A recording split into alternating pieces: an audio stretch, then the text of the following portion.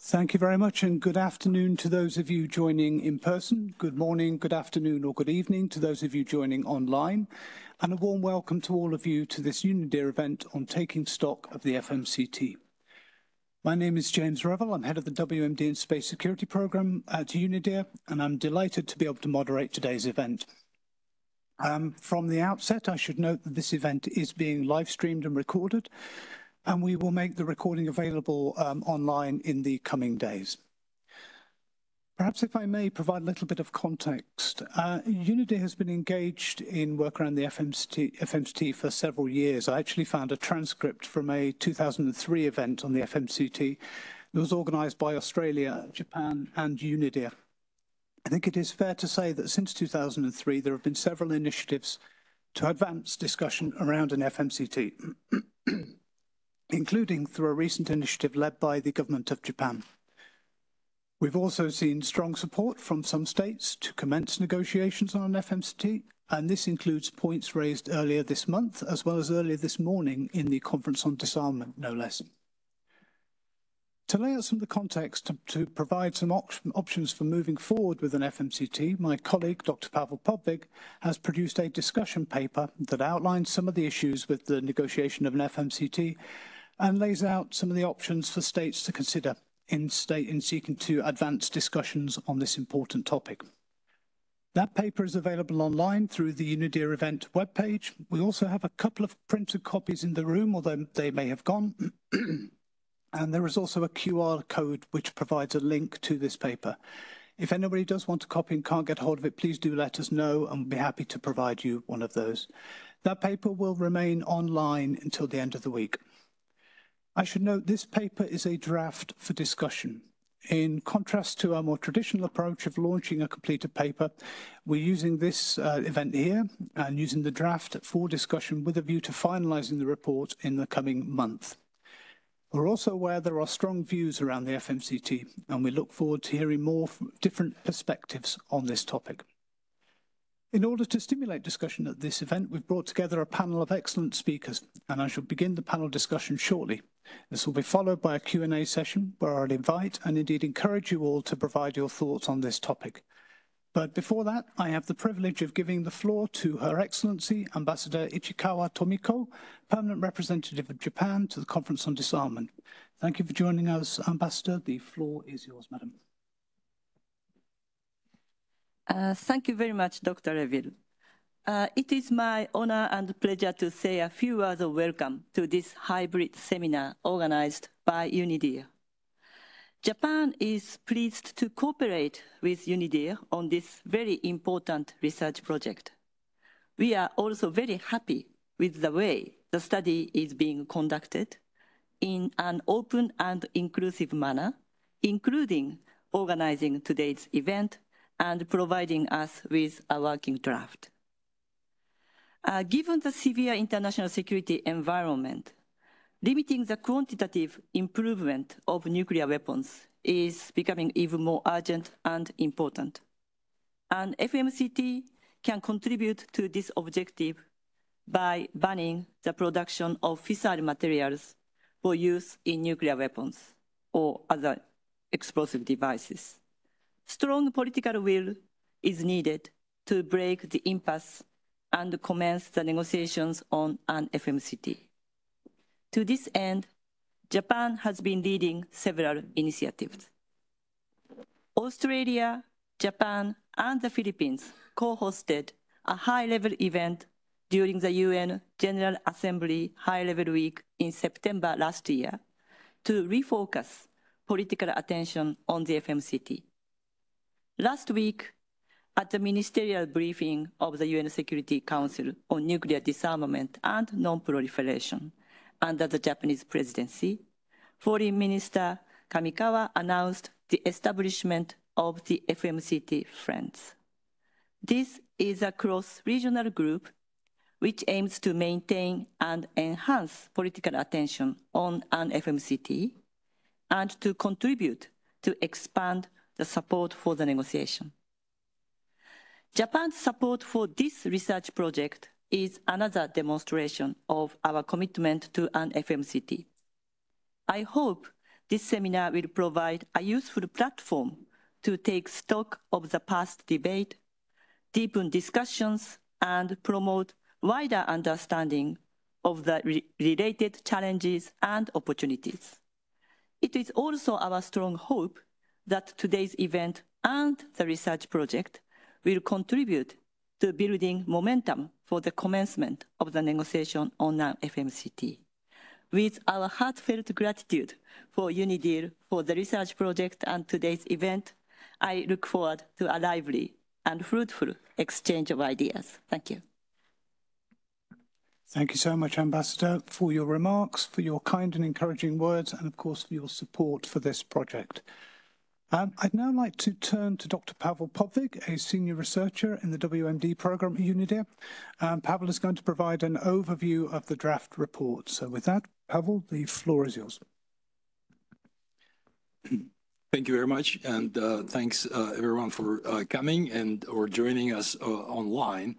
Uh, and of course, uh, thanks to Japan for supporting this project uh, of course, the interest in FMCT goes uh, much farther than uh, 2003 that uh, Jamie mentioned. Uh, in, indeed, uh, it's been now more than 30 years since the UN General Assembly adopted a resolution that started the, the process.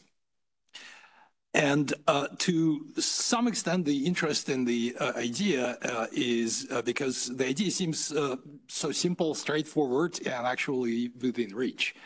Uh, in practice, of course, uh, the reality uh, turned out to be a little bit more uh, difficult. Uh, another reason for the interest is that there is uh, there is already a lot of material out there. as you can see from the open data, we can estimate that there is more than 1,200 metric tons of uh, HEU, uh, most of which is uh, more than 1,000 tons, uh, is in fact available for weapons, uh, and uh, more than 500 tons of plutonium, and of which less, but still a significant part, about 140 tons of, of plutonium is available for weapons. And given that a nuclear weapon contains kilograms of material, uh, this is a this is a lot of weapons. And uh, of course, uh, the uh, this material is not evenly distributed, uh, and some states, uh, and this is another reason for the interest, and some states are either producing the material or have the capacity to do so. yes, on the positive side, uh, we have four states that uh, declared uh, moratorium on uh, fissile material production for weapons. Uh, but let's, uh, to be honest, they've done so because they have a lot more material that they could possibly use. which doesn't mean that states that haven't joined the moratorium actually need more material and uh, like and there is no magic amount of uh, weapon grade plutonium or uh, HEU that would make uh, a state secure. In each case, uh, you can actually make a good argument uh, that uh, stopping uh, fissile material production for weapons uh, is perfectly compatible with national security objectives of every each, each country. and indeed, FMCT can be part of that argument because building the regime that bans production could be an important uh, factor in creating the circumstances when uh, the production actually uh, is stopped. And of course, uh, in these 30 years, uh, there, has been a lot of work uh, done on the issue. we've had the group of governmental experts, the high-level expert group. we had discussions in, in the CD, in other fora. we had a number of uh, Uh, draft treaties, uh, some of which were submitted by uh, states. And of course, uh, there, there was a, a, lot of academic research uh, done on, on the subject. Uh, we, uh, I think it would be fair to say that we know uh, most of the issues. we know most of national positions, and we have some idea of what is what is blocking the commencement of negotiations. However, uh, the circumstances uh, around the uh, ban on production change, uh, we it is clear that uh, the situation today is very different from what it was in 93 uh, or 2003 or even 2013 or 14. and I would probably say that our expectations of what the treaty can or cannot do and what the treaty should or should not do also change. And that uh, means that it is it is useful, it is important to uh, go back and uh, ask uh, some questions uh, again, uh, and maybe this time the answer might be different, or we could find value in issues that we haven't thought about before. So uh, what I will try to do, I will try to cover some of the issues uh, that are uh, raised in the context, context uh, of uh, FMCT, uh, although of course I I do not pretend to cover them all or to cover the most important ones. I think this is a, this is a selection of uh, Uh, of, of, questions uh, that, that are out there. Uh, and some of them uh, have been discussed in uh, various fora like GG or high level group. but we at UNIDIR here, uh, we have the luxury of not being constrained by uh, the uh, by national positions, and we can afford be maybe a little bit more proactive in in making uh, making certain points. Although, of course, uh, the the purpose of this uh, process is for us to get uh, better understanding uh, of uh, national positions and to make sure that we, when as we do our research, that we respect them.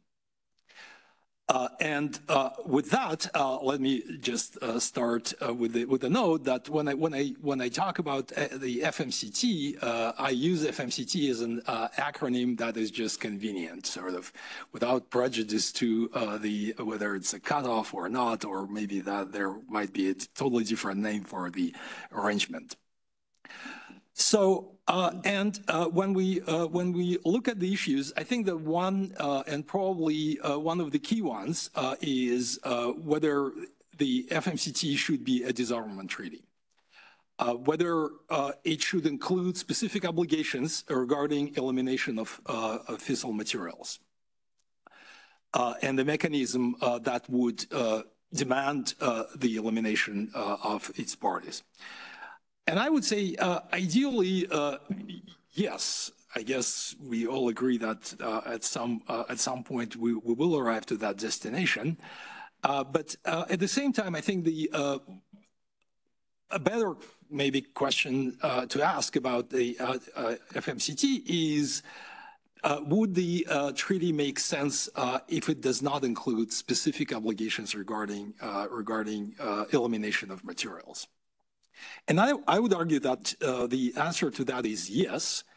Uh, and uh, the reason for that is that if you uh, look at the way that uh, the potential treaty can be uh, constructed, can be designed, to make sure that it does what it's supposed to do, which is to prohibit production of fissile materials for weapons, uh, it is uh, clear that uh, the, the way to do that, and I would argue the only way to do that, is to uh, uh, create a mechanism that would uh, make sure that whatever material is produced is followed through its entire life cycle and under international control, and that system in, ensures that the material cannot and is not used for weapons.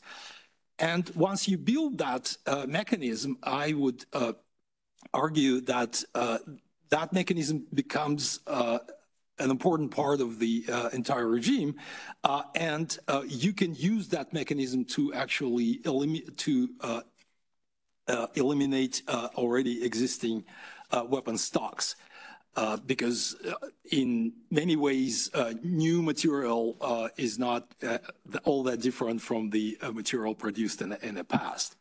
one example that I like to use in that in that regard is the example of the uh, plutonium disposition program, the uh, U.S.-Russian agreement, uh, plutonium management and disposition agreement, uh, and at which uh, both states uh, pledged to eliminate 34 metric tons of uh, weapon origin plutonium each.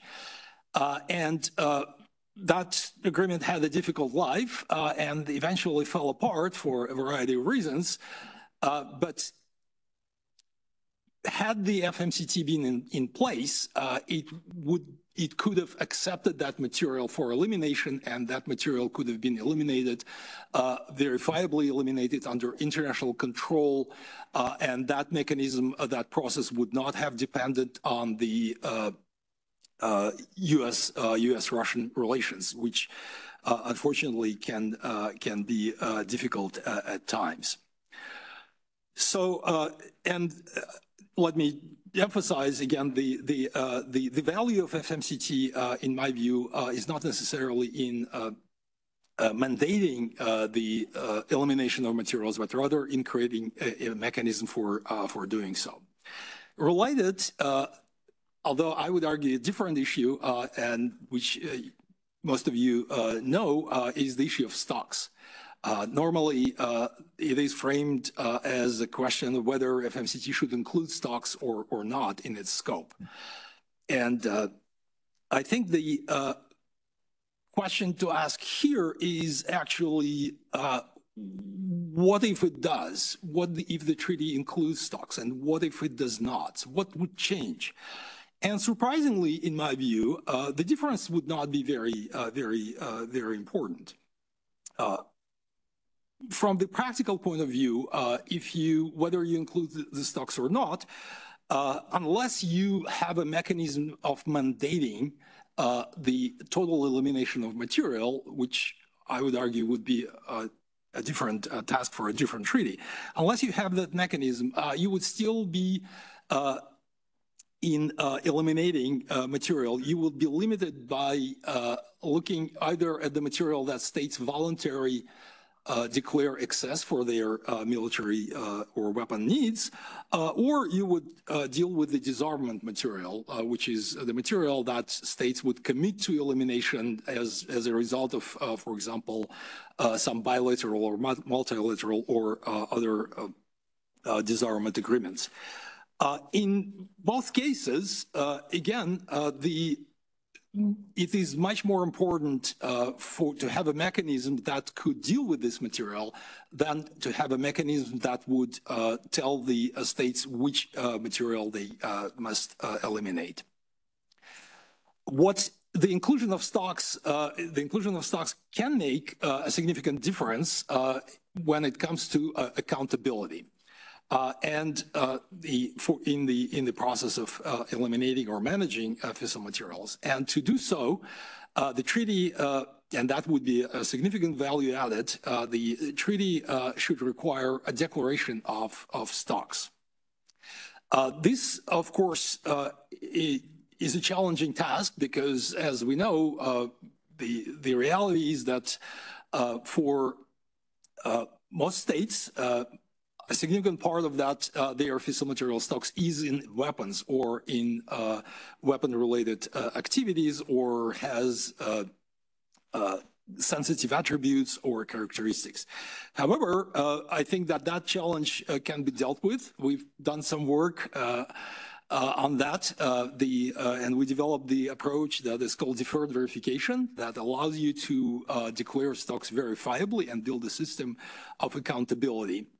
Uh, and uh, that that is uh, that is an important, uh, in my view, uh, if we are talking about including stocks in the treaty, uh, that is what we need to talk about.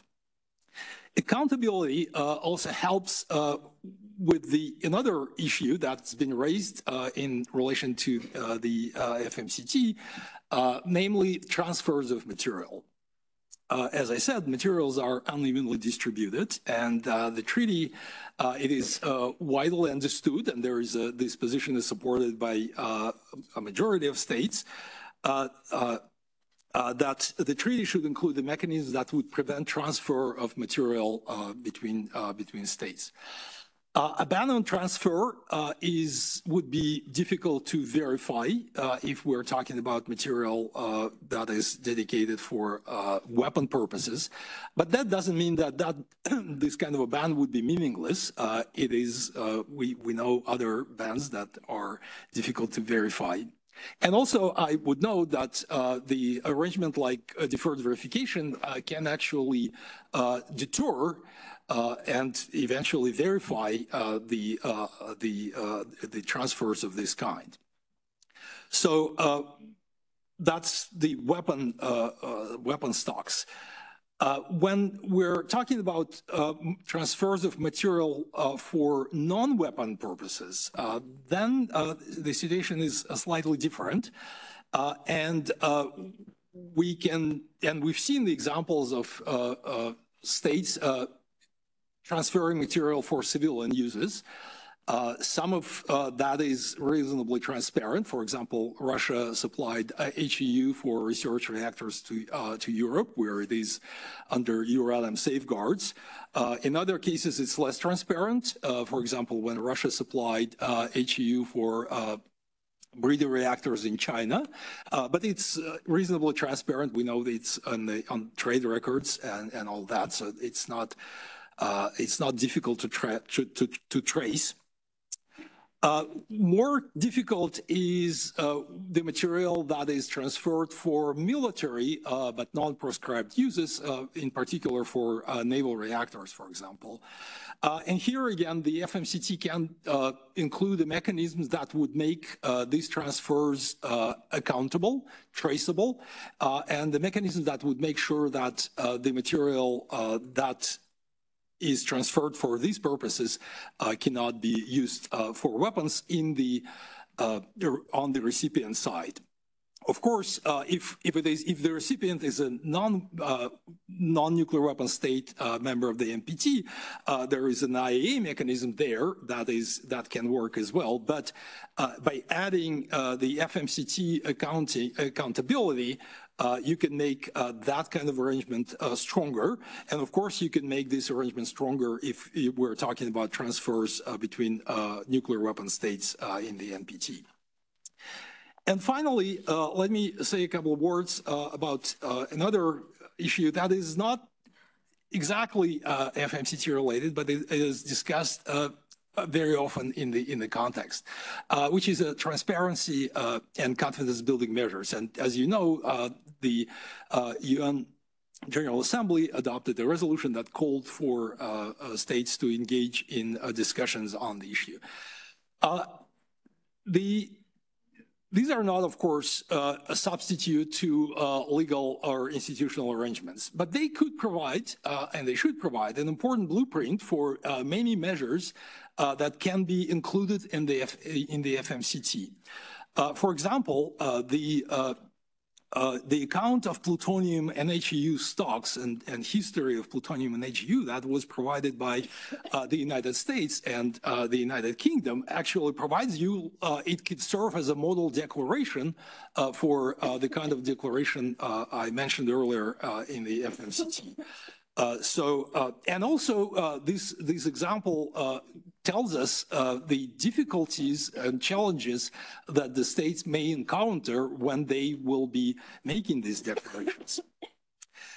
another although it's not entirely uh, uh, transparency in confidence building, but uh, we have a very important experience of monitoring weapon weapon grade material. For example, a significant amount of Russian weapon grade plutonium is under monitoring by the uh, inspectors, by the U.S. inspectors as part of the uh, agreement that shut down plutonium production reactors. The PMDA is a plutonium management and disposition agreement also, also uh, is a very valuable example of how you can approach uh, the issue of eliminating the stocks.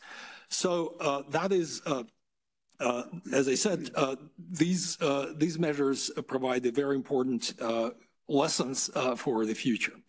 Uh, there are also a number of existing uh, mechanisms uh, that already exist and that can be strengthened or even expanded.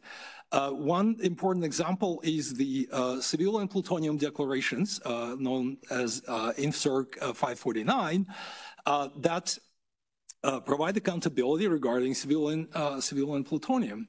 Uh, it's not secret that when China suspended uh, its uh, reporting in 2017, that created uncertainty about the dimensions of the of the program in China. Uh, and uh, again, we know the, uh, China's view on the issue about transparency in general, uh, but uh, I would argue, and I think we would all agree, that resuming that, that reporting would go a long way to uh, addressing whatever uncertainty might be there. and this is an important mechanism, and there is no reason why other states cannot join it, not not all states uh, have separated plutonium, but you, you could still, uh, the, uh, the mechanism allows you to report uh, the plutonium uh, in irradiated fuel. Uh, that, that could provide a, a, an important level of transparency. You can go even further. You could go and submit more, more detailed declarations. take an example of Japan uh, that actually publishes a very detailed account of its plutonium program, and it's uh, it also it is very helpful.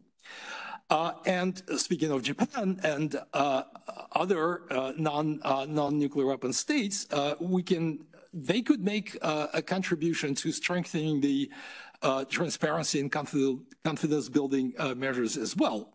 Uh, again, there is another reporting mechanism INFCIRC uh, 912, uh, which uh, 20 countries committed to report their stocks of highly enriched uranium.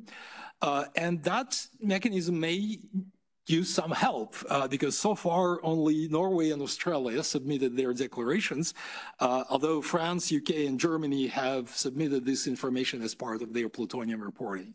So uh, you can imagine that uh, if more countries join these uh, reporting mechanisms, uh, that the kind of the overall Uh, transparency uh, norm uh, will be will be strengthened, and and again we can learn important lessons that could help us moving toward FMCT.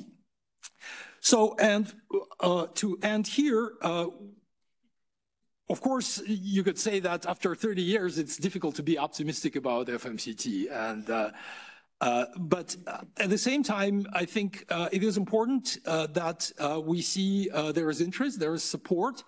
Uh, for the treaty, we know that it is not a universal support. Uh, there are uh, states that object the idea, but even having this discussion and uh, discussing these issues, uh, that uh, that is a way of uh, creating uh, creating the uh, environment uh, in which, uh, as again, uh, FMCT can become an important element, a valuable and important and valuable element of the disarmament regime.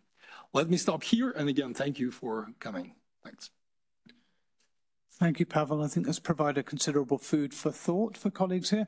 I also suspect you've stimulated or indeed provoked some comments or questions. Um, I would ask, though, unless anybody has any quick points they want to raise or points of clarification, that we take all questions at the end of all the presentations. So unless anybody has any, any particular quick points they'd like to raise, I can't see any so far.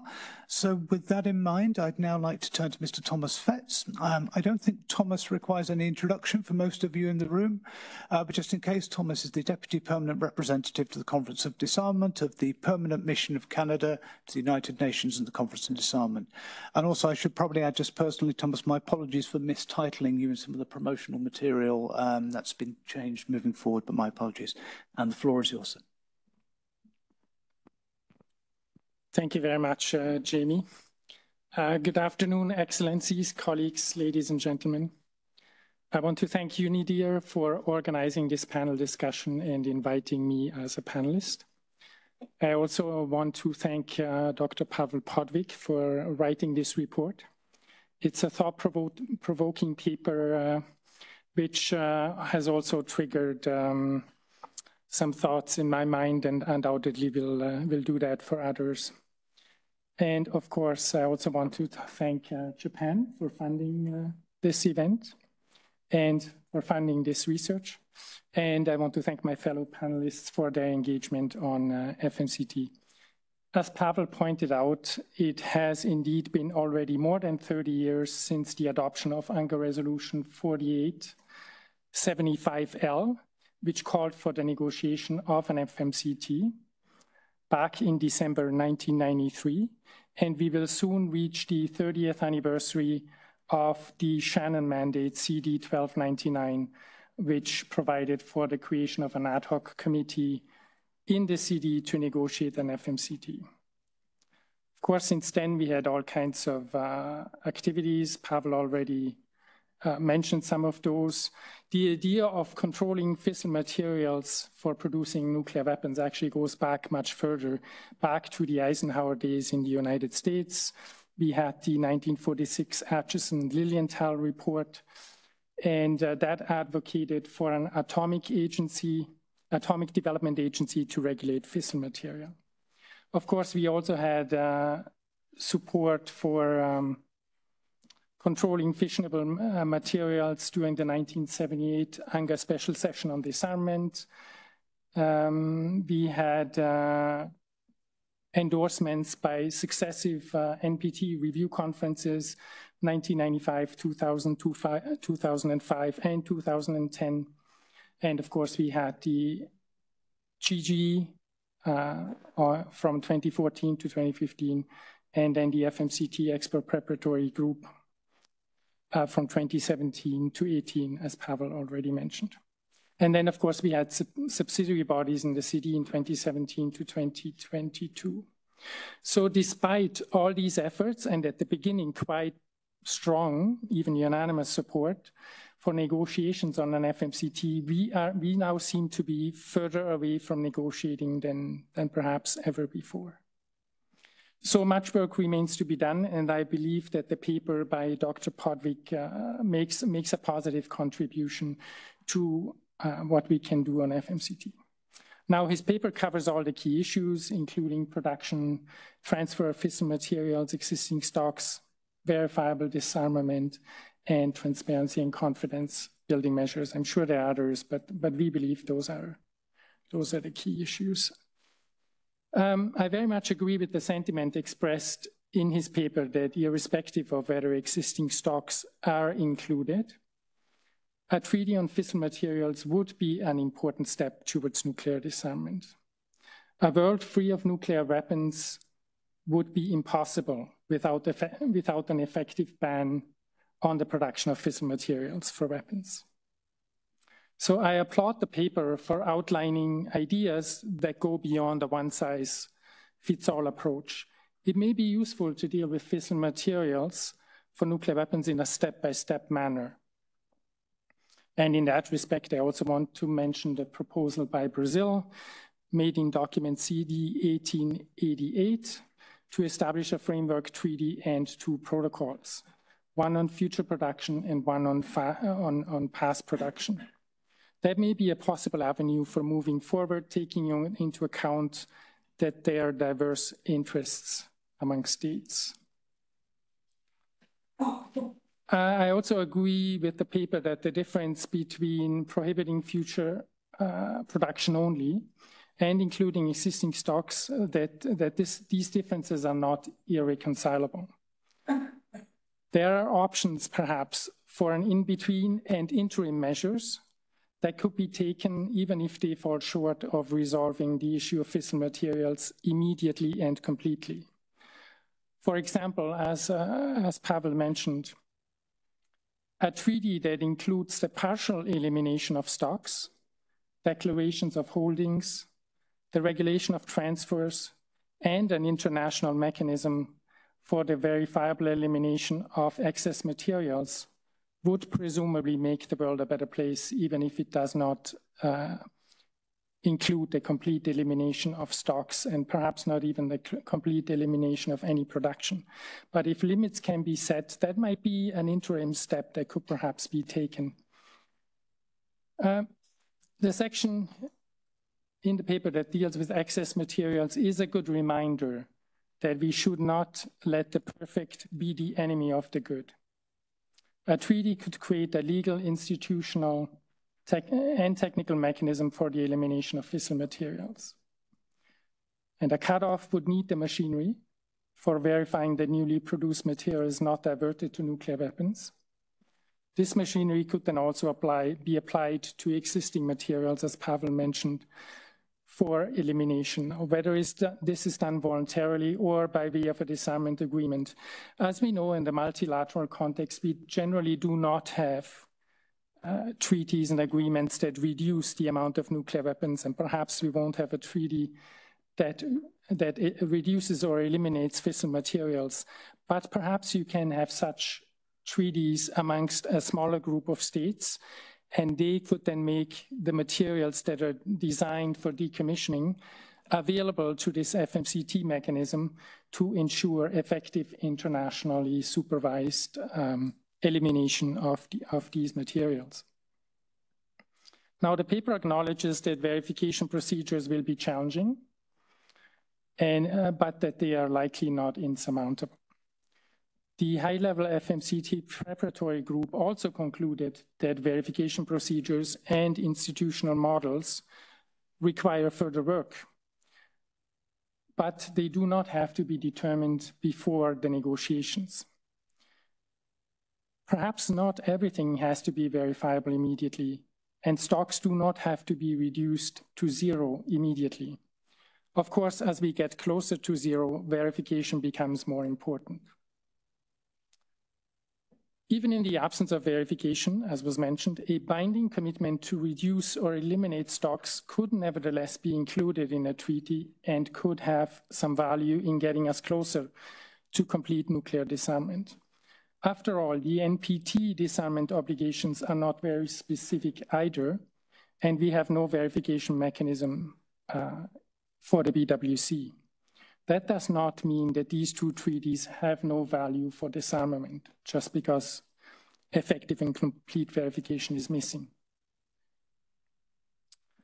Now, transfers is a challenging issue, as, as has been well explained in the paper, but once again, that can perhaps be addressed in the negotiations, and the way forward may, may include an arrangement that strengthens the IAEA procedures. We also agree that transparency and confidence building measures are an important step, especially as negotiations are not close. The 2023 UNGA resolution on FMCT is clear in calling for such transparency and confidence building measures. Uh, effective TCBMs can, one hopes, narrow the gaps and create a path towards negotiations. TCBMs can also be advanced unilaterally, aiming to encourage reciprocity. Of course, one can uh, can disagree in terms of uh, where negotiations stand in the CD. The paper says that negotiations on an FMCT in the CD remain uncertain. Uh, that language, in my view, is uh, rather diplomatic. Unfortunately, the chances of immediate FMCT negotiations in, uh, in the CD are almost non-existent given the lack of political will and the determination of some states to continue producing fissile materials for nuclear weapons. That manifests itself by expanding nuclear arsenals and a refusal by some states to declare and adhere to a moratorium on the production of fissile materials. That said, I can only reinforce the point made on page 20 of the paper, which says, while some of the issues that hold back the FMCT negotiations may present a serious challenge, the differences are not necessarily irreconcilable, and virtually all technical problems can be adequately addressed.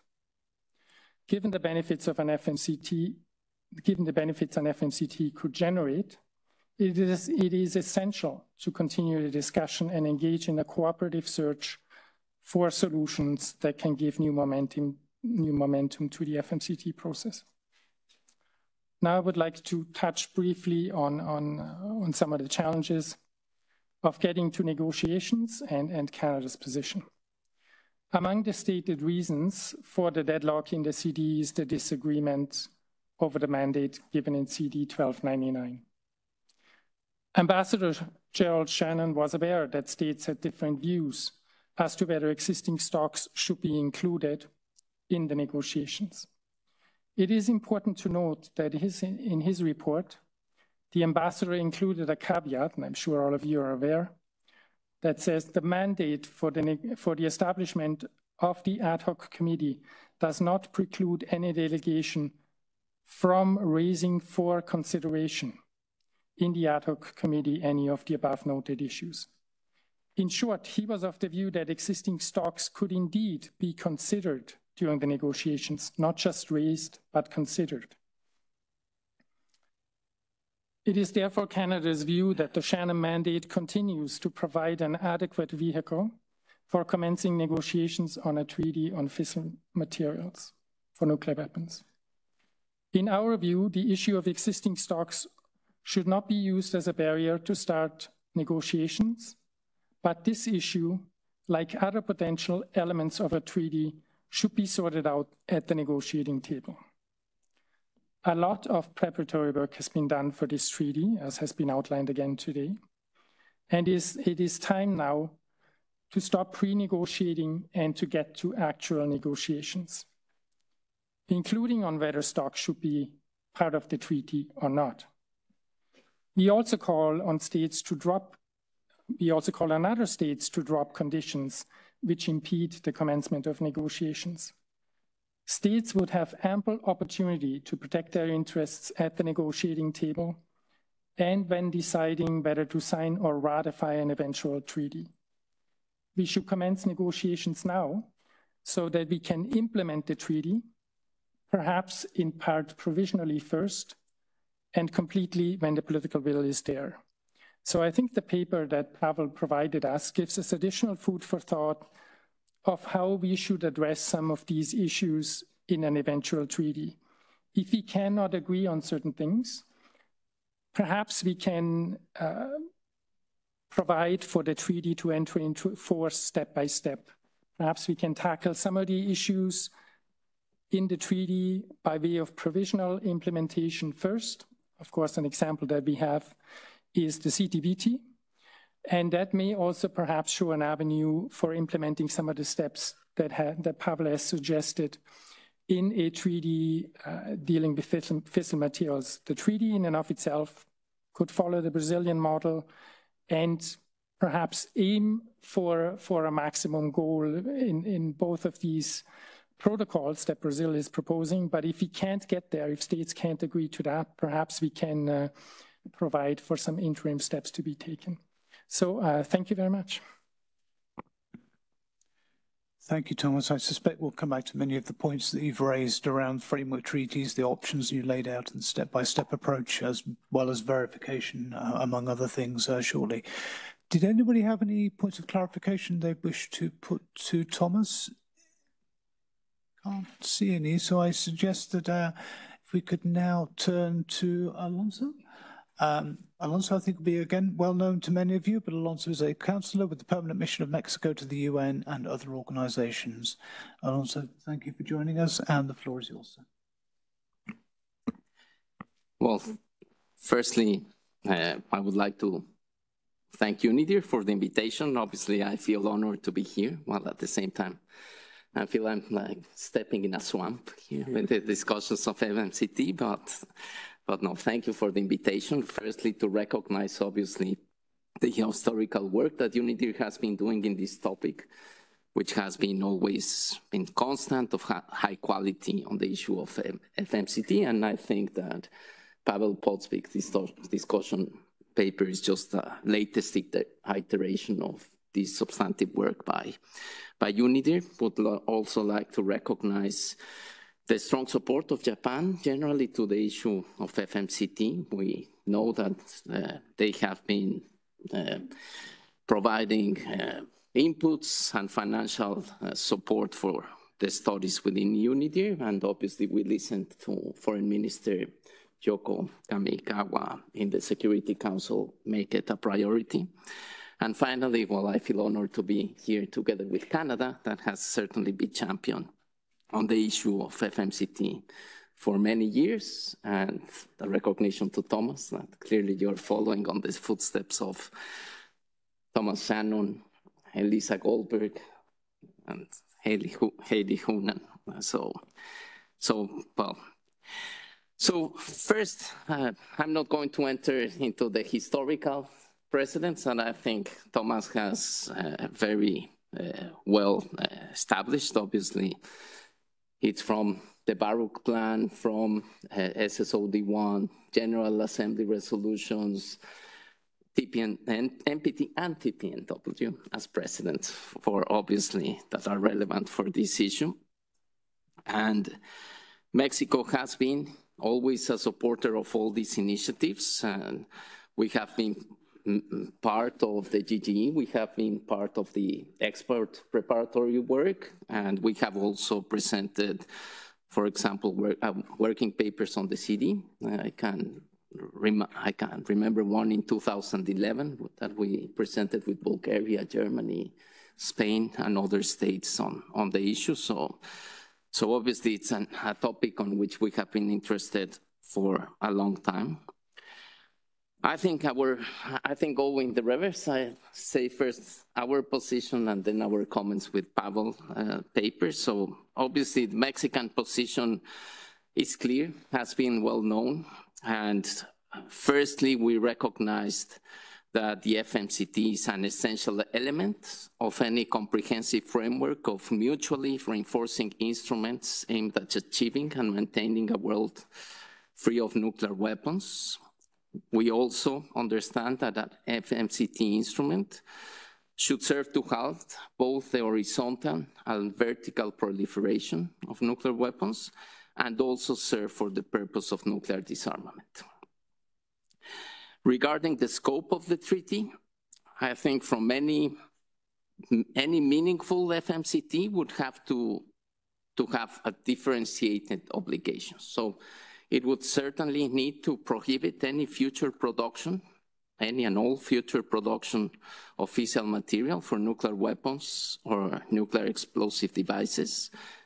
It would also require that the placement of all civilian stocks that are of a feasible uh, nature under verification safeguards to ensure that they are not diverted also would require all of the placement of non-civilian stock declared in excess under verification safeguards and towards reprocessing for civilian use, again, to avoid its diversion.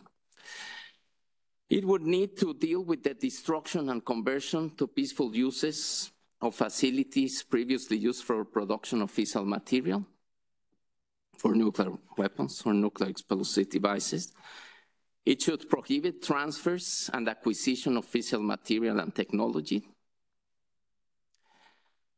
And finally, it should decide on uh, measures of accountability, control, reprocessing, containment, and if possible, elimination of functional stocks of fissile material for nuclear weapons.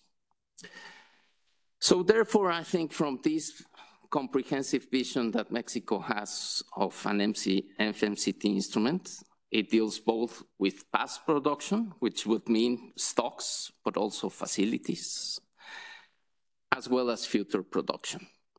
And we feel this is justified, firstly, doctrinally. We feel that there's need to be progress towards nuclear disarmament, and measures should be built not just for non-proliferation, not just for non-proliferation and to leave untouched the status quo on the possession of nuclear weapons as established in the NPT. We should feel that there are measures that should be built towards the fulfillment of Article 6 of the NPT. But also we feel that there are practical measures on why we need to have this approach. If the FMCT does not deal with existing material. Firstly, any instrument that deals with only with future production might be an incentive for states to produce as much possible to produce as much possible of this material before joining the treaty. Second, it is important to deal with existing stocks that are in excess to military requirements to ensure that they will never return to nuclear weapon stocks. We also feel that there are important stocks of highly enriched uranium or other military uses, uh, might be, for example, for naval propulsion, which should be ensured that they will not and cannot be used for nuclear weapons. So I think on that basis, how do we see uh, the guiding principles that are commonly agreed when we are dealing with the FMCT? I think here, firstly, we understand that it should be non-discriminatory in the sense that the obligations should apply equally to all state parties and would rectify the inequities under the NPT regarding safeguard obligations. We also understand that it would need to be verifiable, that it would be able to deter and detect non-compliance in timely manner and provide credible assurances. Oops, the chronogram stopped, so I'm not really sure how much I have. So this obviously verification will imply a variety of tools and techniques and adopted to specific obligations that might be agreed in an instrument and the different context. And finally, it should be multilateral, and that should involve in the negotiation both nuclear weapon states and non-nuclear weapon states. Another criteria that any negotiation of an FC, FMCT should follow is that it should be complementary and non-duplicative of other frameworks that exists. So it should use as much as possible and feasible previous experiences of the IAEA, and I can, I can think of definitions of safeguards or the use of laboratories and qualified staff, amongst others. And also it might learn from other frameworks, the, the CTBT, the, the CWC, oh, the work of the OPCW, for example, recognizing the differences of on material, fissile material and chemical material, but I think there might be lessons there. Our position with regard to the start of negotiations. So Mexico, as I have explored, uh, has explained, we have a, certainly uh, a defined position of what we understand should be an FMCT instrument. But at the same time, we are open to start negotiations in a constructive spirit and without preconditions or undue restrictions to garner agreements based on both political, legal, and technical and scientific considerations. We, from a Mexico perspective, understand that the Shannon mandate does give the appropriate leeway to start the negotiations, and obviously it will imply a very uh, uh, uh, strenuous work from all different strains of expertise and knowledge uh, so now with regard to, to Pavel's discussion paper, I think here, um, I think it is clear from, from the paper that it certainly understands the complexities that any negotiation of FMCT would encounter. So I think I would just highlight, for example, with regard to scope. So, so we, we read and uh, we are very interested in his idea that it, it identifies that regardless of the outcome of an eventual FMCT, a process of on the scope, any process of verification would be a useful parameter to both existing stocks and future production and even other verification needs. So I, I, read with interest, for example, that in the paper he makes, exemplifies also with a reference to disarmament material, which I think in general within the GGE of FMCT and of the discussions is generally understood by all to be outside of the scope of an FMCT. But it recognizes that verification that might be included in any negotiation of an FMCT might be important. I think another aspect of Pavel's paper, which I think is, is, is this, the issue of effectiveness. And I think here what we saw, I read, it's that an instrument even for non-proliferation would, would need to deal not only with production, because it's not the only source of, uh, of material, but also with transfers and acquisitions. And I think that is also coincidental with what we envision as a comprehensive framework of uh, FMCT. Another aspect of, of the paper I liked is this differentiated approach that measures regarding stocks and future production need to be complementary but not identical. And so there will also be a need for specific needs uh, of verification, for example, with regard to civilian use, for non-civilian use uh, in excess, and for the destruction and conversion of production fa facilities. So there's a differentiated approach that you will need to the different applications.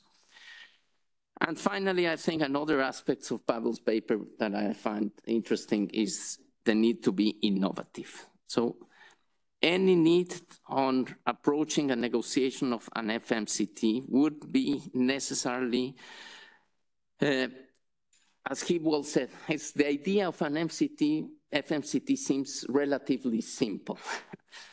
but its negotiation and its application, it's there that will require innovative, both technical, legal, and institutional solutions. And I think his paper starts building into these more nuanced visions of what will actually a negotiation of a FMCT entail. So we certainly see it as a very valuable input that complements obviously enormous work that has been done in the sphere of FMCT, but certainly we feel it's an important work. So thank you so much. Thank you so much, Alonso, for the Mexican position and the, the discussant role. Uh, I, I, also have some sympathy for the, the challenge of stepping into a swamp. It sometimes feels at the moment like anything on arms control, disarmament or security more generally, so incredibly sensitive and never know what's lurking beneath. Um, did anybody have any points of clarification they'd like to raise uh, to Alonso at all? If not, I suggest we turn to our last speaker. Okay, uh, so if we can now turn to Professor Nishida Michiru from the School of Global Humanities and Social Sciences at Nagasaki University. Uh, Professor Nishida is also a senior research advisor to the Asia Pacific Leadership Network and has many years of experience in the field of arms control, disarmament and non-proliferation. So we're greatly looking forward to hearing from you, sir, and you have both the screen and the room, if everything works. Can you Hear me? Can you hear me? Uh, thank you very much. Um, I'd like to thank the UNIDIR for having me speak for this important panel. Uh, I've been asked to give a Japanese perspective on, on FMCT. Um, here, I'd just uh, like to make clear that I'm not a Japanese diplomat anymore, uh, as opposed to the other panelists being diplomats of their countries. Uh, so I don't represent the Japanese government uh, here, and therefore my remark uh, does not necessarily represent the views of the Japanese government. Uh, and thank you, Pavel, for the very useful paper. Uh, the, paper the, the, way of thinking is very much in line with my perspective, at least, and with Japan's perspective, as far as I see from Japanese working papers in the past. today, I'd like to talk about first uh, the significance of an FMCT today in light of the recent security environment. Second, uh, perspectives in considering how an FMCT should look like. And uh, finally, possible ways forward. So first, the significance of an FMCT. Um, there are many significances of an FMCT, five or six at least I can think of. here, I'd like to just point out two amongst others. Uh, the first significance is the role of an FMCT to uh, curtail nuclear expansion in the era of nuclear buildup. Um, as the uh, working paper by uh, Pavel shows, one of the major debate about an FMCT has been whether it is a nuclear disarmament treaty or a nuclear non-proliferation treaty. Uh, and there have been criticisms that um, if it's not a nuclear disarmament treaty, it has uh, little meaning. Uh, but in the era of nuclear disarmament, in the post-Cold War era, uh, nuclear disarmament was um, expected to move forward even without an FMCT. And the opinion that an FMCT looks insufficient and that a treaty with more impact, such as the TPNW, uh, is more desirable than an FMCT, may have had some persuasive power. However, um, in order to promote nuclear disarmament in the current era of nuclear expansion, it is for, first and foremost uh, necessary to halt nuclear buildup. Um, thus, the significance of an FMCT, even as a small step to at least halt nuclear expansion, is increasing. The next uh, significant aspect of FMCT is the mitigation of the discriminatory nature uh, represented by the NPT. The most effective way to mitigate the discriminatory nature is, of course, to maximize the FMCT's utility as a nuclear disarmament treaty. That is to that is um, the extent to which past production and stockpiles are dealt with. However, mitigation of discrimination is not just limited to whether or not to make a nuclear disarmament treaty it is also important in the peaceful use of nuclear uh, energy. Under the NPT, uh, the reality is that only non-nuclear states are ob obligated to accept strong safeguards, while safeguards for nuclear weapon states are only voluntary and are rarely applied in practice. Whether or not to apply safeguards to all civilian nuclear facilities of nuclear armed states under an FMCT is a subject of future negotiation.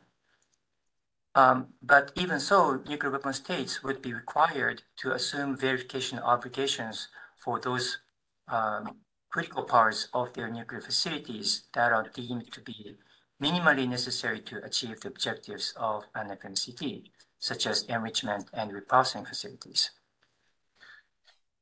The extent to which an FMCT can alleviate the discriminatory nature of the current NPT regime will depend on future negotiations but the nuclear weapon states should approach the negotiations with a clear understanding of the importance of the mitigation of discrimination in non-nuclear weapon states and how important it is for the maintenance of the NPT regime, uh, which the nuclear armed states, or at least the five nuclear weapon states, value.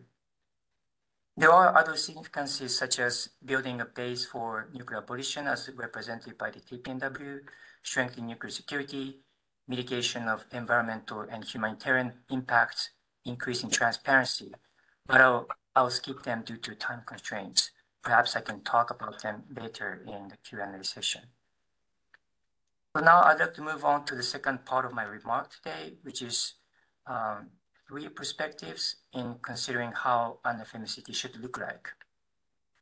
Uh, first, um, it is necessary to always keep in mind the significance and purpose of an FMCT and to separate the ideal form and minimal form required for an FMCT to be meaningful uh, derived from its basic uh, purpose, with the ideal parts being subject to negotiation and the minimal parts to be established as consensual.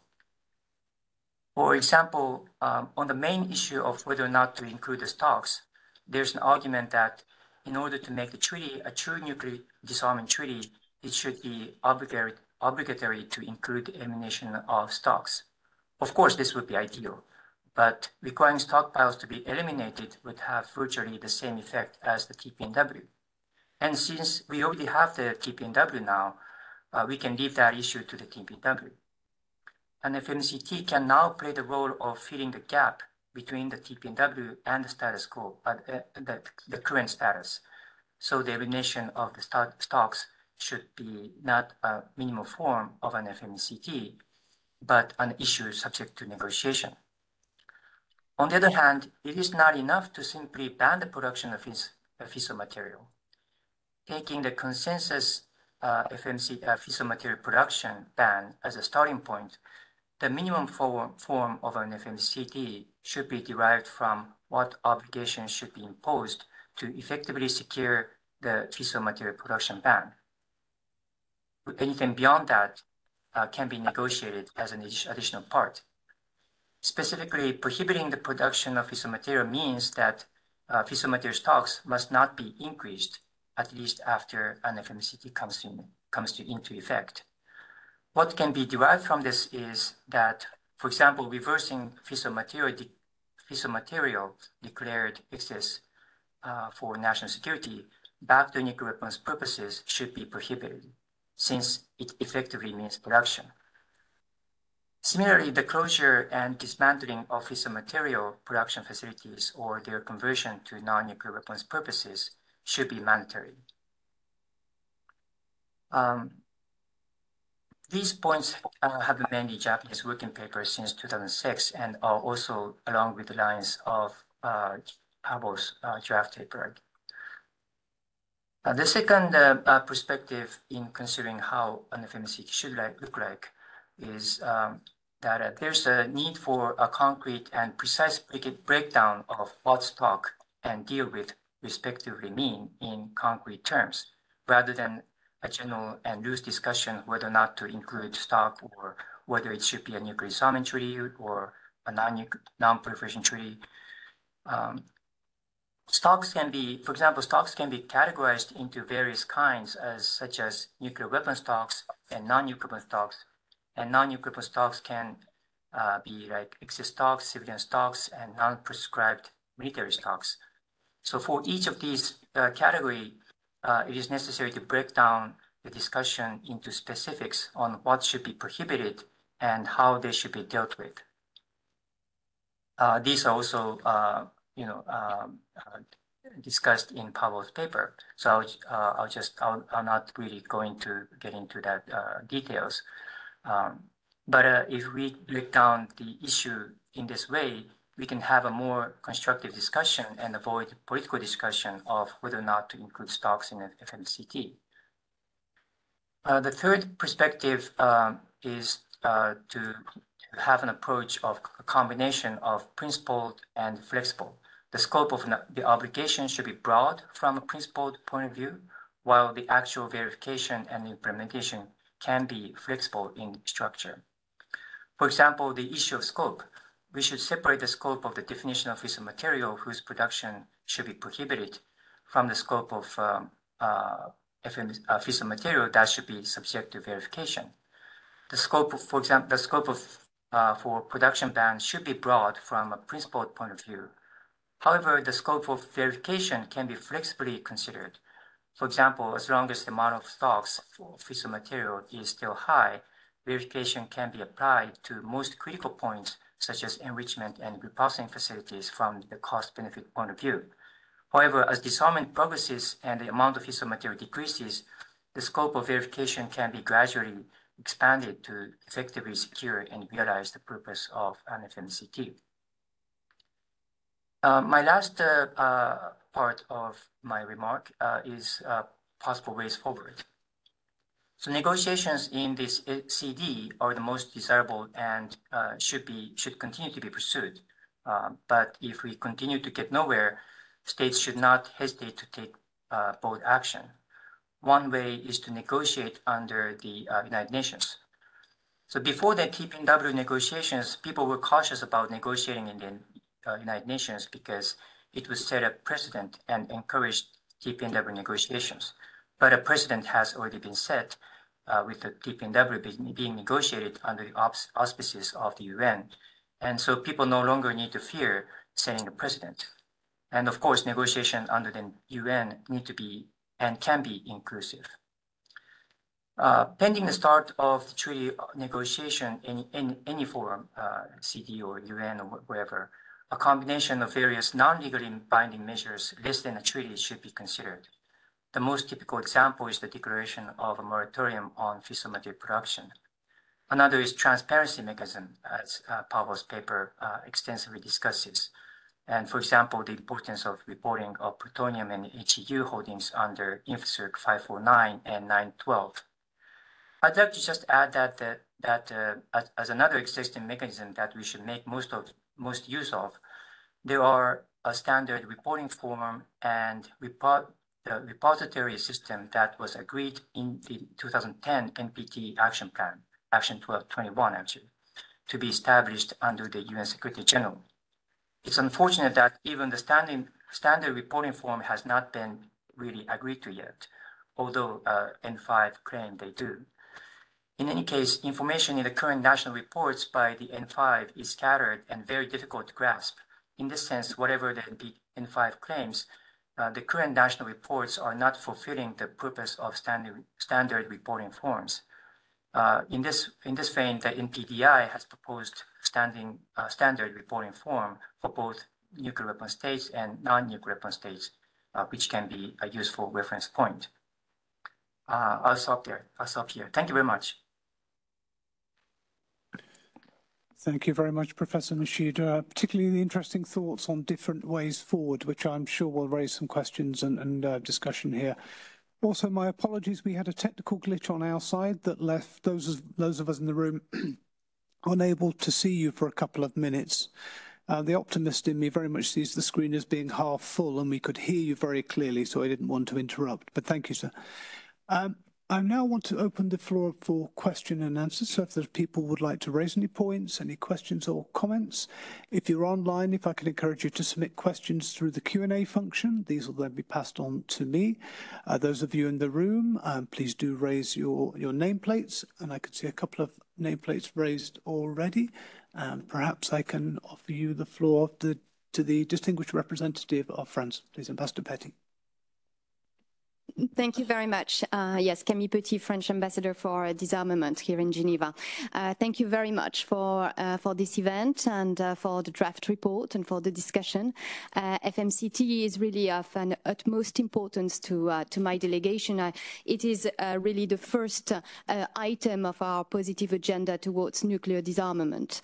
Um, I would like just to um, to add a few elements that I think could be usefully Uh, added to uh, uh, the UNIDIR report. so uh, uh, first of all, I, I, would like to insist on uh, the dismantlement of the production sites. this is a commitment that was undertaken by France. as soon as 1996, France undertook the dismantlement of its production units in Marcoule and Pierrelatte. and it's a long-term investment. It's uh, 12 billion, uh, 12 billion euro uh, cost, but it also um, means a, lot of endeavor. Uh, so Pierrelatte was for uh, the uranium enrichment uh, plant, and it's now fully dismantled.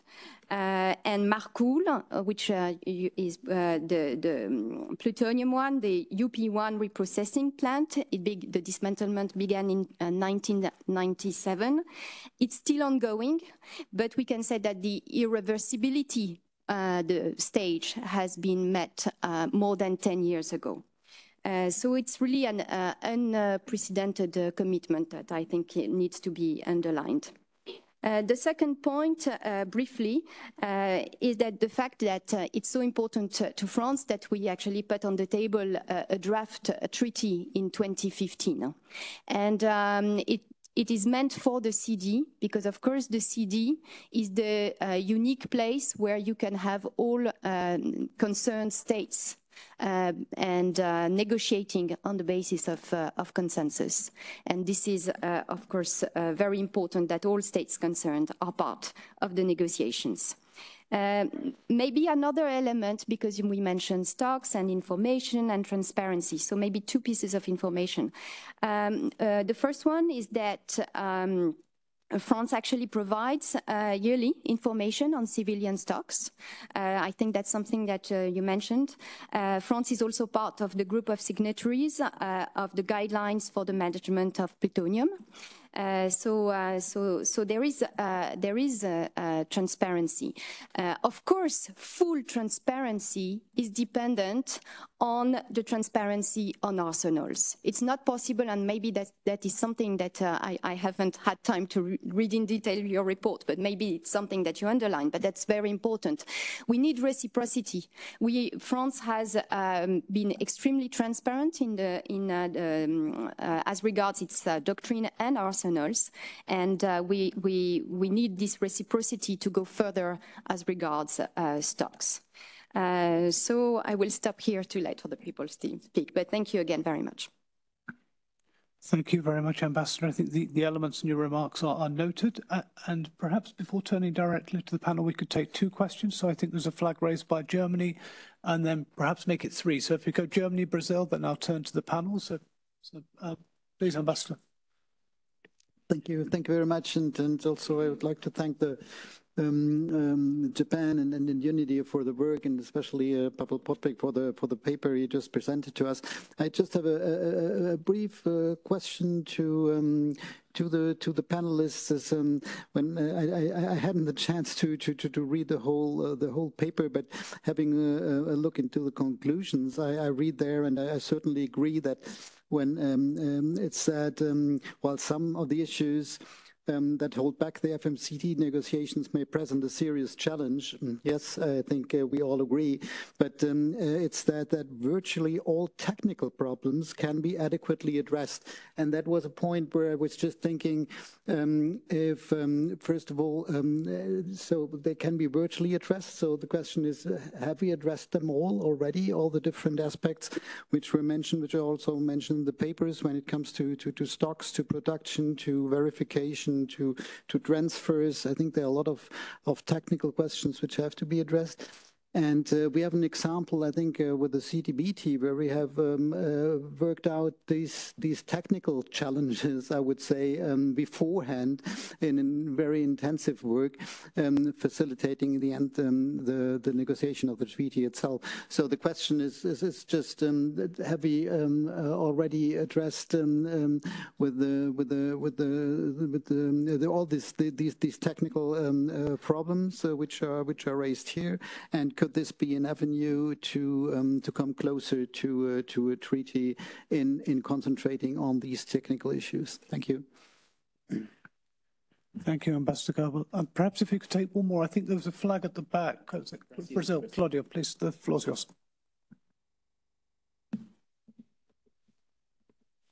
Thank you. Thank you very much. Uh, good afternoon. And uh, I would like to begin by uh, thanking uh, UNIDIR and uh, uh, the Japanese mission for organizing this debate. Uh, we still hope that uh, the CD will be able to agree on a substantive uh, program of work so that we can have this sort of substantive discussions. But uh, in any case, pending this, uh, we uh, very much appreciate this opportunity to discuss the F, the fissile material issue and to make sure that this, the issue is fresh in the minds of the, all delegations and that um, perhaps new ideas can come about. Um, I'd like to um, thank uh, the references that were made, in particular by Thomas, by, uh, about our proposal on a possible framework arrangement. Ag uh, agreement for the FMT. Uh, this was done through document CD slash 1888. It was reminded by my ambassador in his statement uh, earlier today. Uh, he also pointed towards uh, further refinement of this proposal, uh, which was made uh, through, during the expert, the high-level expert preparatory group on an FMT, uh, uh, in which this idea was developed further. it is basically an approach that can be adapted in accordance to what can be agreed by, by, by the CD. Uh, the original idea was for a uh, framework convention backed by two protocols, one dealing with future production and another one dealing with uh, uh ex uh, existing stocks. But we, this idea, as pointed out during the high-level expert preparatory group, can be further developed. not other protocols can be thought as we progress in this objective of making sure that the FMT or FMCT, however much you want to, uh, however, however, you might want to call it, uh, that it should be a measure conducive to uh, the ultimate objective, which is the total elimination of, uh, of nuclear weapons. And I would also like to point out that uh, uh, discussions on nuclear dis disarmament verification can also be pegged to our consideration of possible mandate on NFMT uh, because uh, the verification measures that will be necessary for ensuring compliance with a fissile material treaty will probably be very similar or at least complementary to those that will have to be put in place uh, for nuclear disarmament. And I would like to again do a shameless uh, uh, uh, uh, advertisement for our idea of establishing a group of scientific and technical experts on NDV, which has been discussed already in the context of the GGE on nuclear disarmament verification, and we hope that this discussion can be carried further. Thank you. My thanks to the distinguished representative of Brazil. We have three questions or sets of questions and comments to address, so perhaps we can take those first and then I'll turn to China subsequently, but perhaps if we could take the panelists' thoughts first. Uh, do you want to go take the lead, Pavel? Please, come to you. Yeah, yeah thank you. Uh, my apologies if I forgot to mention the uh, uh, Marcoule and Pierrelatte. Uh, this is one of the uh, better examples, one of the great examples of the uh, transparency and confidence, and again, the uh, uh, the how this can be done. I, I, think that the the challenge there is probably with with enrichment, the because uh, some enrichment programs will be around and they will be, uh, some enrichment facilities will be converted rather than eliminated and civilian enrichment facilities uh, will be capable of producing material. Uh, uh, however, I, I, think it might be interesting to look at the uh, experience of Urenco uh, consortium and uh, the way how uh, it manages the, the, the limit, the ban on production of material for weapons at the uh, facilities, whether they are in France and uh, Germany, uh, UK, or the United States. So I think that that might be an interesting, uh, an interesting again uh, experience. Uh, to the question of Germany, uh, virtually all uh, technical problem, problems can be addressed. I actually believe yes. I, think the virtually is there uh, only because there might be some work done on uh, naval material uh, because uh, the, if if you have the material produced for uh, military non-prescribed uh, purposes like for naval reactors, there there is a bit of a technical challenge there, but it is largely because if you want to give states an excuse of making things complicated by saying this is all very uh, sensitive and secret. Uh, so there uh, other things are, I do believe that uh, the IAEA has all the technologies. We know how to uh, monitor this and that. Uh, we've done work, I get shameless self-promotion on how to eliminate materials, how to dismantle weapons without access to sensitive data. So that, that all can be done. Uh, it is really uh, the um, uh, the matter of of political will, as they say, but they, it's uh, again the technical issues have been done to the extent that they, they haven't been solved. Uh, I think there is a yeah there there there are various mechanisms, including probably the group of experts on uh, nuclear disarmament verification. Again, there there are all kind of avenues for discussion. So let me stop here. Thank you very much, Pavel. Thomas, please. What's yours?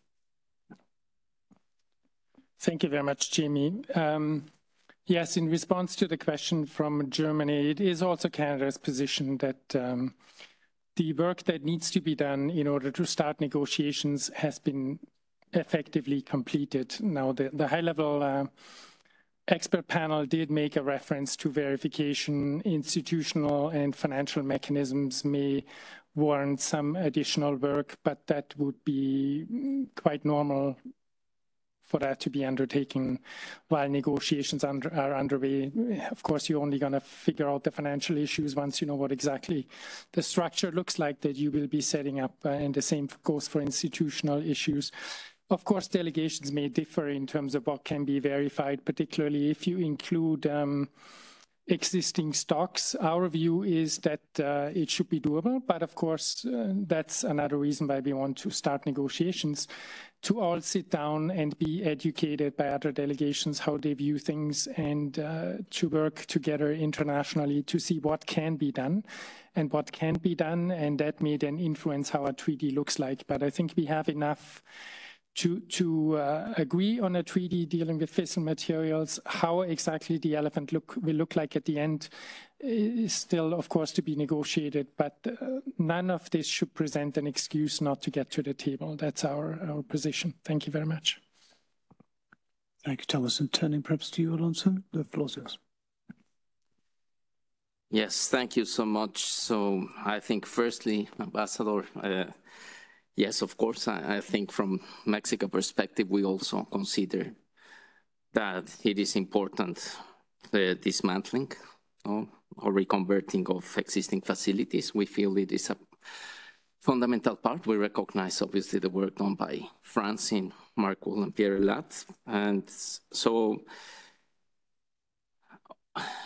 we understand there's many proposals within the CD, and obviously Mexico is part of the CD and willing to work on the CD.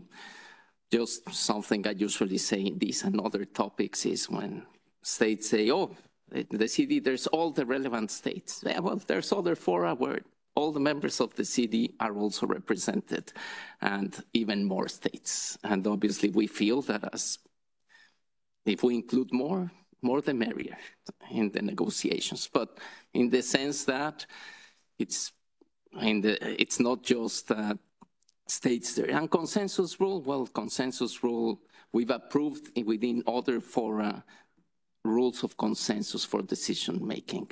And it's not just on the purview of the CD, but we still obviously would be really encouraged because the CD is the only multilateral fora with specialization on negotiation on disarmament. And we can have dedicated space of seven, eight months of working five days a week on a specific negotiation as was done in the past of the CD when we actually negotiated and actually dedicated seven, eight months just to one topic, constantly full time. So yes, that still is a benefit of the CD, but I think that's how I approach the CD as the most important or hopefully the place where we can out these negotiations. Uh, with the question of Germany, I think here, as we would see it, is that there is an understanding that initially verification is viable with respect to the different aspects of the FMCT. So there's this general recognition that tools that might be viable exists. Obviously, that does not mean that we already have them determined, because as we have seen from the GGE and from the preparatory group, there's still important differences from definitions, from scope. So even when we speak of scope, it's like uh, future production, what is exactly future production? What are existing stocks? Existing stocks might include civilian, might be those in excess, might be those that are functionally in weapons and nuclear weapons. So there are still debates uh, on obviously definitions. Is are we going to use uh, a definition of the IAEA? If such, which definition of the IAEA? Will we need a special uh, definition on this treaty? I think those are aspects to be determined. But I think here, as we envisage, is there are overall, and as I think, as Pavel has said, a general understanding that there are verification tools and that there are verification tools that either existing in other organizations as the IEA, other academic and technical studies on verification that respect proprietary rights, respect the obligation of the NPT not to give uh, uh, the access of, uh, of information to the production of nuclear weapons to non-nuclear weapon states. There are so, and there are therefore viable technical means to verificate that obviously will have to land onto the specific obligations and the specific definitions, and that is work that is still pending and that will be very substantive in this CD. And finally, we'll recognize obviously the work done by Brazil, uh, both in the FMCT and with regard to nuclear uh, disarmament verification. I think in the first I, I think the first obviously issue is form follows function that is always mentioned. And I think here, while the idea of a framework convention and with respective protocols might be a useful parameter, in the end, also we have to, this, uh, to determine other aspects. So, uh, okay, if we're going to go through a framework convention, are the protocols have to be negotiated at the same time? Would they need to be entering into force at the same time or they might have delayed entering into force? There are aspects of the interrelationships of them. So I think there are still obviously questions, but I think it's beneficial obviously to have those kind of proposals that understand the comprehensive approach to FMCT and the differentiated aspect that I think was uh, relevant from my perspective of Pavel's uh, study. So, and just nuclear disarmament verification, I think also as Pavel said, that includes disarmament material within its discussion paper, clearly links that there's an interrelationship between FMCT and nuclear disarmament verification without necessarily being equal to it. So Thank you. Thank you, Alonso. Um, I, am apolog apologies in advance. I may take us slightly over time, and I'm still very keen to take the question from China. But if we could hear from Professor Nishida first, then I'll turn to the floor. So sorry to keep you waiting. Uh, Professor Nishida, uh, please, the floor is yours. Uh, thank you. Um, thank you very much for uh, the uh, comments and questions. Um, so the uh, issue of dismantling of production sites, yes, I, I, I, actually was going to mention that, but I skipped uh, in my remark due to time constraints. Uh, yes, so the closure and dismantling of fissile material should be uh, mandatory in an FMCT and also reversing those like converted facilities back to nuclear purposes means de facto production. So that reversing should also be prohibited. Um, in, in, in terms of the reciprocity, uh, I uh, I very much understand uh, that uh, uh, aspect from the national security or international politics perspectives, but at the same time, there there are um, you know nuclear disarmament, non-proliferation, global interest. So in that sense, uh, you know, uh, reciprocity is not, a, not, necessarily a dominant factor. Uh, with regard to the question on the from the German Ambassador. Um, so I don't I don't think uh, technical uh, issues are resolved and uh, need negotiations. I mean, issues need negotiations, but I believe um, technical issues are pretty much addressed, and we know the issues and where states stand at. Uh, so I wouldn't say establishing group of scientific experts is meaningless, but um, what is needed now is political will, I guess. I think we have reached a point where once there is political will to start negotiations, uh, we are ready. Uh, yeah, thank you.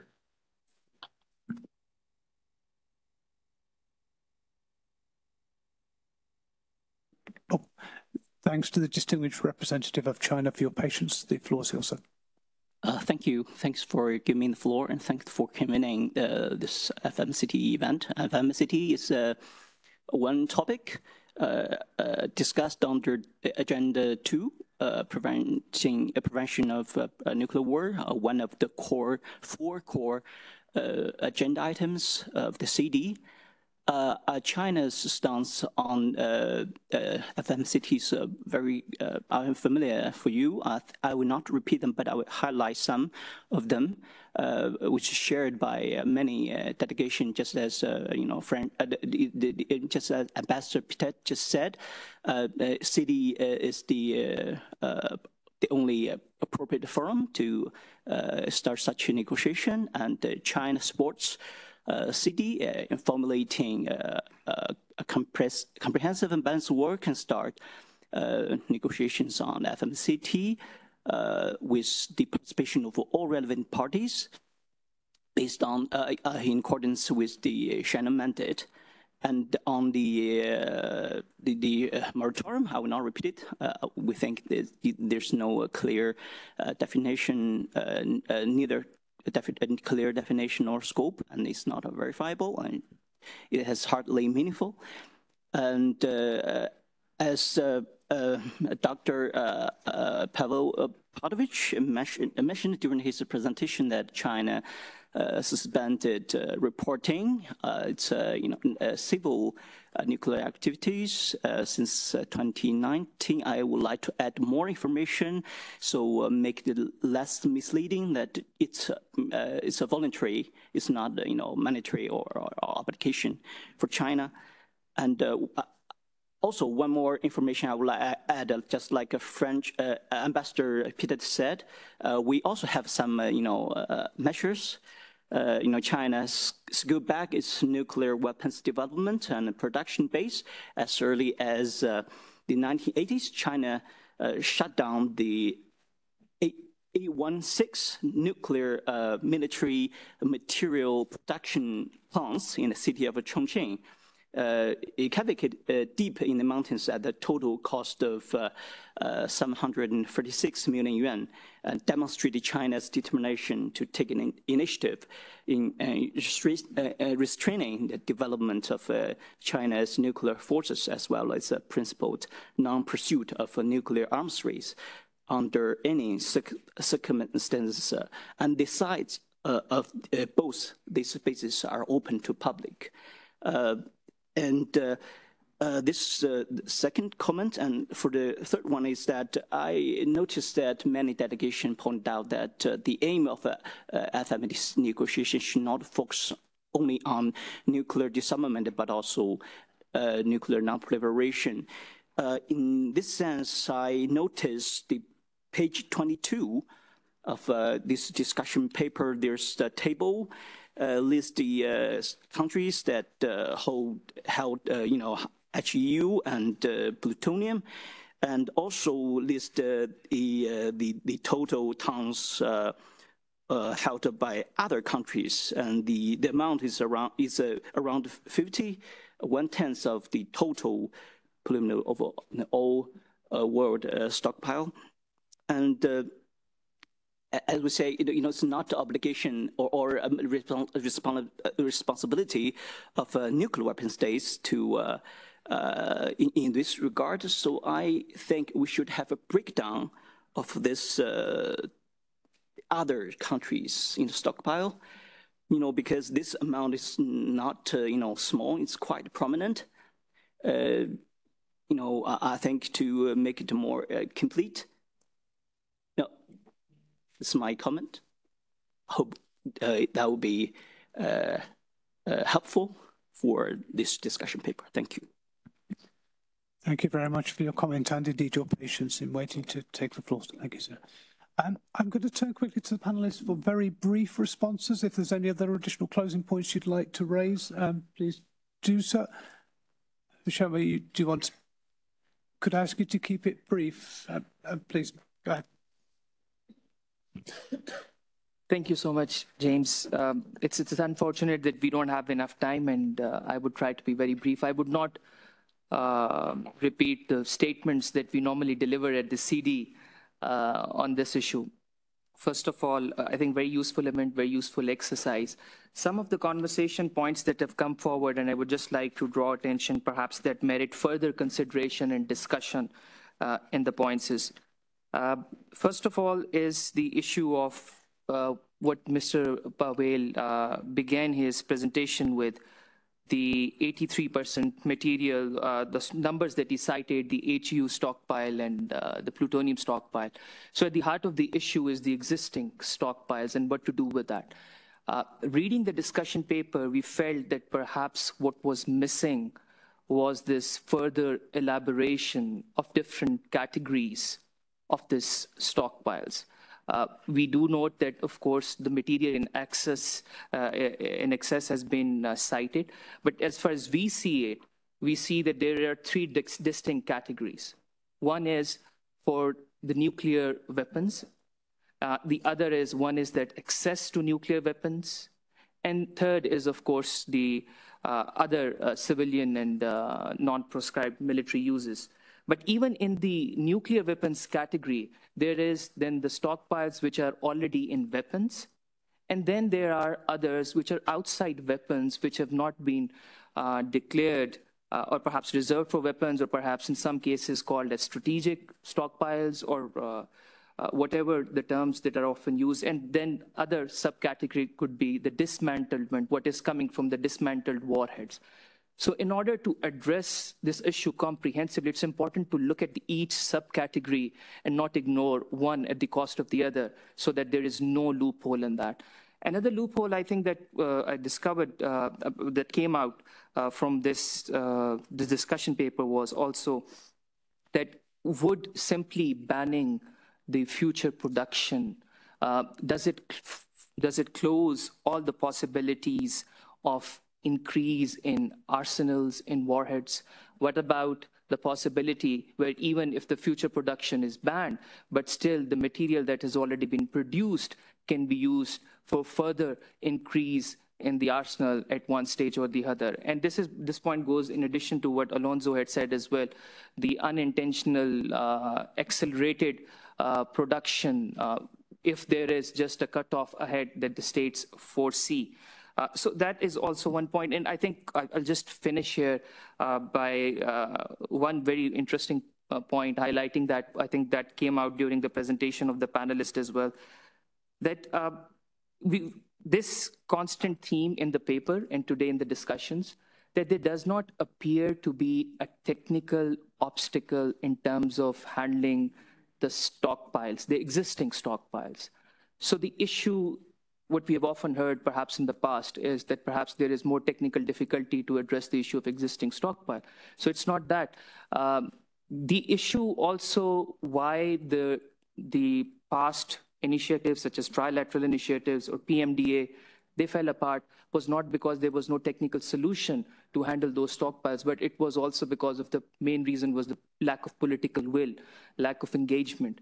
So the issue of existing stockpile is more related uh, with the and an issue of not reducing or eliminating those stockpiles is mostly linked with the lack of political will rather than the absence of any technical solution. And this point could be further elaborated. I have a number of other points, but perhaps uh, look forward to contributing in these discussions uh, with Dr. Pavel and other uh, colleagues and panelists. And congratulations once again on this uh, interesting work. And we look forward to further engagement on this. Thank you. Thank you very much, Osham. Um, we're always happy to speak further with you on this topic. I'm very conscious of the time, very appreciative of your patience. So rather than giving everybody the, the panelists the floor, does anybody particularly want to take the floor to respond to any of the questions or points raised? Um, Pavel, you, you if you could keep yeah, Thank you. Very briefly, uh, the many good points. Uh, I uh, agree that uh, breaking down these uh, the arsenals to different categories uh, is helpful. we we've done so in the past. Our report on the simplifying elimination of stocks. there is a further breakdown. So on the issue raised by uh, China, I, I think, uh, well, the others, uh, they are others because they are, their material is under IAEA safeguards. So that's, uh, we, uh, to the extent that we trust IAEA to keep that material in peaceful use, I think we, we, we can be safe about that material. So let me stop here because these are, and thank you again for your interest and for your attention. Thanks, Pavel. Thomas, you wanted to briefly respond to please. Just very briefly, of course, we recognize the efforts by France and China in, in shutting down production facilities. That's, of course, much appreciated. Um, the CD as the right forum. The CD is a good forum where the key states are that need to make make progress on this issue where they're represented. Uh, it would be a waste to let the CD go to waste, but that's where it's heading. So uh, for us, the key issue is that the key states that need to deal with this issue, namely the, the producers and possessors, that they are at the table. There's no point going to the UN if they don't come along. But if they do come along, you know, we are agnostic on the forum. Uh, same for the consensus principle. It's probably needed to get everyone on board, but you know we can be flexible on that. It is really the political will of all those nine states that's uh, required. Technical issues versus political will that Pakistan addressed, well, we rather have, don't have a discussion uh, prior to starting negotiations on what's technically feasible or not. Generally, we believe things are technically feasible, but that again should be sorted out at the negotiating table. Perhaps some of these issues are more difficult or not, but that is that should not be pre-negotiated. Thank you. Thank you, Thomas. Uh, Alonso, did you wish to follow up on any points? Or that's good to keep it brief. Well, thank you. And I think, well, thank you, China, for bringing the information. I think my only reaction probably would be that, yes, probably now the accountability and transparency is voluntary with regard to plutonium. But I think what we would be expecting, at least from Mexico, is that FMCT make it compulsory. And that's the difference from where we are to what we expect to have with an FMCT. But obviously to recognize that an enormous amount of work has been done, that the CD has have, has been studying this mandate for a long time. And obviously for us, we find it fundamental to actually start negotiations on the FMCT. We, we feel that it is an important measure within the broader scope of multilateral negotiations towards leading towards the achievement and maintaining of a, a world free of nuclear weapons. And, uh, and yeah, Mexico will remain engaged in a constructive manner, and we hope everyone, without uh, prejudices or undue restrictions, we can actually start the substantive work. Thank you. Thank you, Alonso. And uh, Professor Nishida, any further comments from your side at all? Oh, thank you. Um, just wanted to uh, point out the need for a sense of urgency. Um, even in the late 2000s, when I was uh, working hard in Geneva to launch negotiations, uh, we were already strongly advocating with a sense of urgency given the security environment uh, surrounding Japan. But now security environment is even much worse than it was. And uh, I personally have an even greater sense of urgency. So, I mean, this sense of urgency was not shared by many countries in the 2000s, but now, especially since the war in Ukraine, uh, I'm hopeful that uh, it will be shared by more countries. Uh, it is not a present situation at all, but I hope that this will be an opportunity for countries to break the stalemate with a strong sense of urgency to start negotiations. Thank you very much. Thank you, Professor.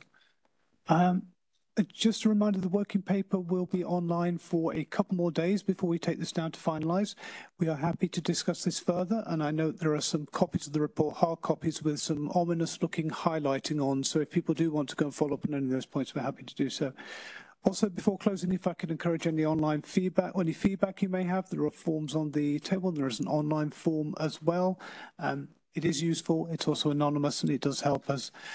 And with that, uh, unless there's anything else from anybody else, I'd just like to express a thanks to all our speakers today and for you all joining us in person or online. Thank you for your patience. Apologies for going over for 15 minutes. Um, but also thanks to my colleagues, to Maria and to Sarah Ruth for their support.